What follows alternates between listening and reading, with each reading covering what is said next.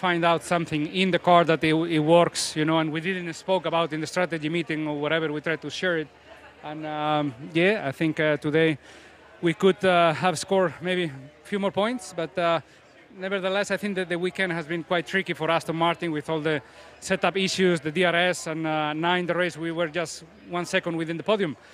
So yeah, overall we have to be happy and uh, looking forward to Miami. Do you feel like you're his big brother, or again? in the team?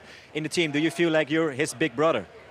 In a way, yes. I mean, uh, I know that I will be around not not many years, you know, a few more years, but uh, I hope so. Yeah, not not uh, unlimited, and he has 10 or 15 years uh, uh, leading the team in the future. So. Uh, the time that we will share together the car, you know, I hope I can uh, help him as much as I can. The DRS is working. Yeah, it was working So today. happy with P4?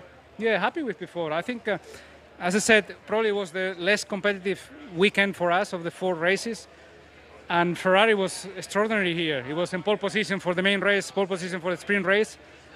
And even with that, we are one second from them uh, to finish in the podium. So it means that we did something good today, you know, or they did something wrong today. And uh, at the end, I think uh, we have to be happy with four. Good luck. Thanks.